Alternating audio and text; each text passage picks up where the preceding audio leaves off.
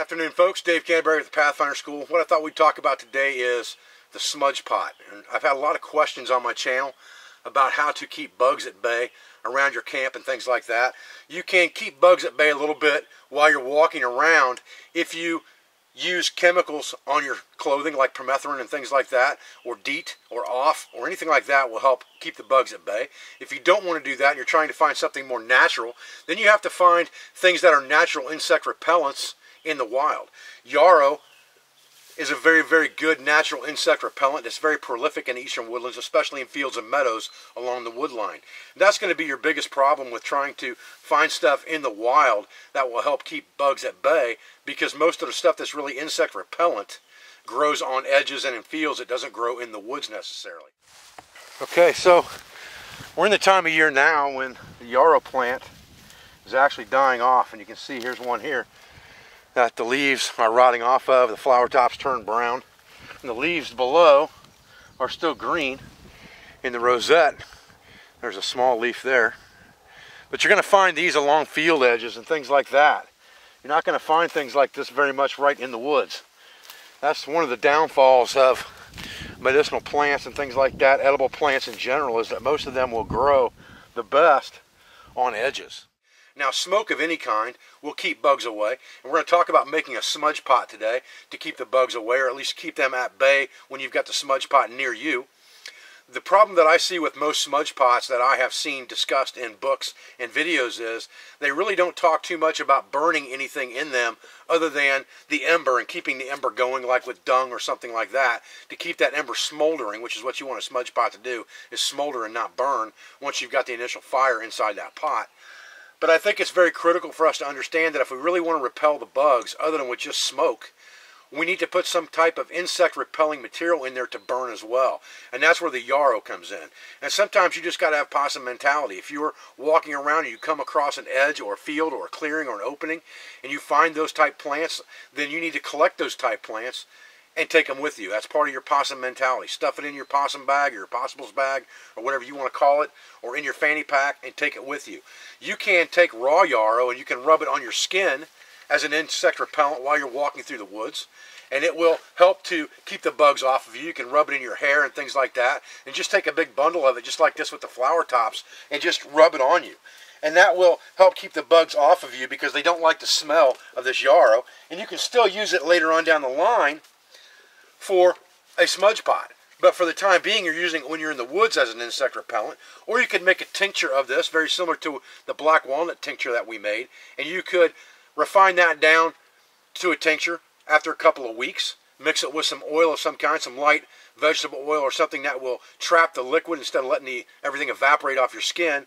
And then put it in a spray bottle and spray that on you. And that will work as well. But if you don't have time for that kind of stuff and you're on the fly, you don't have two weeks to make a tincture while you're you know, in the woods, then you can take the plant directly and rub it on you. Wax myrtle works really well down south, and there are other plants that are insect repelling or have insect repelling properties, to include tobacco. Most people who smoke don't have to worry about bugs too much because if they're smoking, the bugs don't get around them. Same thing with your campfire. As long as you're burning that campfire, the bugs aren't going to be around you too much. So what can we do in our camp close to where we're going to sleep to help repel bugs after the fact? Well, we can use what's called a smudge pot, and that's what we're going to talk about today. So, like I said, burn something in the smudge pot besides just something to hold the ember. Have something in there like this yarrow that is insect repelling to begin with, and put that in there. So what we're going to do is, to make a smudge pot, we just need some type of can. Now this one is one that I scrounged actually out of trash. It's an aluminum cream container. It has a logo on it. And to make a really effective smudge pot, you really need to poke holes in it so that air can get in it, so it gets a little bit of air, but not enough to combust on fire. I don't, I have a big problem with punching holes in solid containers. It's just not my way. I would rather fight this thing a little bit and hope enough oxygen gets in here from the top than to poke a hole in a perfectly good container that I might need later on. Especially if I found this in a true survival situation and actually, this did come out of a trash pile and this wire, and I just punched holes in it with a fence nail and bent the wire over with a multi-tool. So this complete container was made from trash. But I sure wouldn't want to sacrifice this thing just for a smudge pot. So we're just going to leave it as it is. And what we're going to do is I've got some green grasses here, and this is the only time I would ever recommend putting green grass in a fire, would be if you're trying to make it smolder.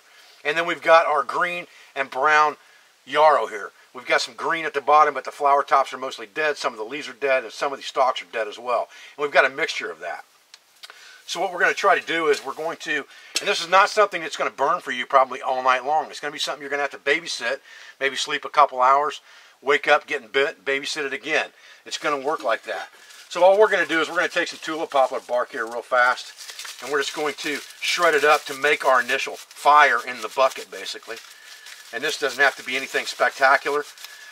At night, if we were getting ready to do this, what I would recommend is just scrape some coals right out of your fire bed and drop them in the bottom of that thing, some red hot coals. Because we don't have that, we're actually going to have to start somewhat of a fire. Now, you see with this tulip poplar bark, all I really did was shred up the base of it and wad it up. And if I've got the ability of having open flame like a lighter, that's really all I'm going to need to do.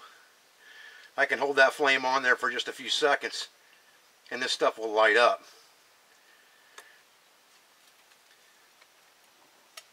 And then I can just drop it in the bucket and put small sticks and things like that inside the bucket to feed it. So that I'm basically building a fire inside this bucket. It's not going to be a raging fire, obviously, because there's no oxygen getting in from the bottom.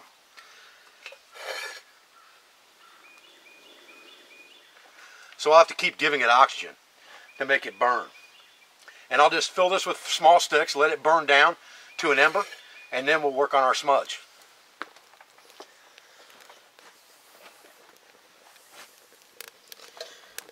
And the goal right now is just to get all of this to burn down into embers down in the bottom of that bucket. Once we get that part done, then we can work on the smudge.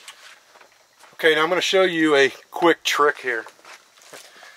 Maybe it's just a safety tidbit, whatever the case may be when you have a fire contained like this, obviously you really want to get oxygen to the base of the fire. Blowing down on top of a fire blows the fire out. Blowing underneath the fire is what gives it oxygen to sustain itself. You're going to have times that this is going to drop down and you're going to want to put oxygen in there, but you don't want to blow directly over the top because if it flares up, it's going to burn your face. If you blow over the top of it at an angle, you're going to create a vortex of oxygen inside that container that's going to go down to the base of the fire, like this.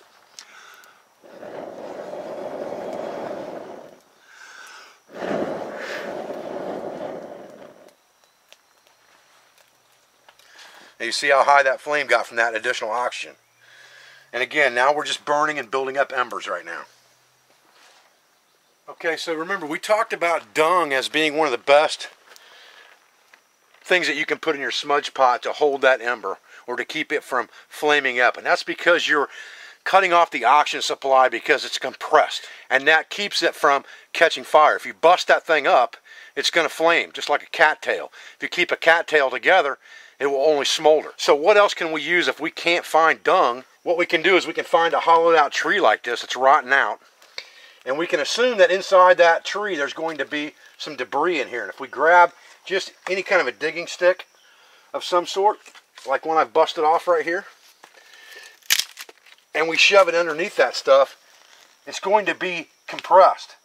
You see those chunks of compressed material that are a little bit wet and a little bit damp? Like that with some leaf matter in them, that's just as good as manure. Okay, so now you can see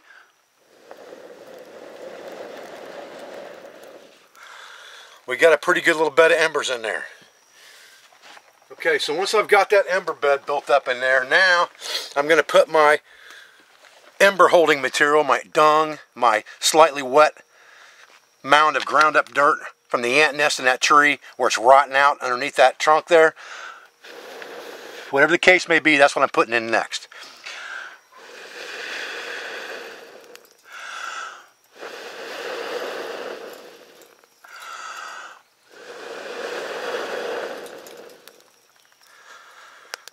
I think you can see that down there in the bottom. Now, what I'm going to do is, I'm going to take either my green grass, depending on how much coals I have in there, or just the material I'm going to use for the smudge itself. And that's what I'm going to put in, flower tops down. And spread it out a little bit to give it some oxygen, but not too much. Just like that.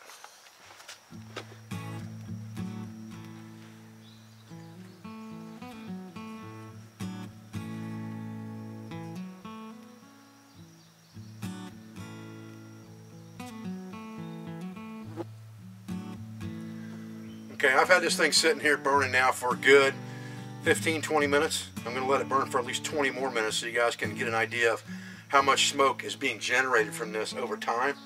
Unfortunately, I can't sit here for six or eight hours, but I think this will give you the idea if I wait a few more minutes. Okay guys, so here we are at about 40 minutes. Still smoking really, really good. I have no doubt it's going to go on for another hour or two if I leave it alone. But I wanted you guys to see what this looks like. Okay, so let's talk for a minute about the smudge pot's location in our camp. And that's an important thing to understand. We have to realize that the smoke is going to be dictated by the wind. So on a calm night when the bugs are the worst, it's not going to be too much of a worry for you. You can get this thing pretty close to your shelter where the wind is blowing it into your tarp if you're sleeping on the ground. It'll convectively roll around in there, smoke rises, so it's going to go above your head and keep the bugs at bay fairly well.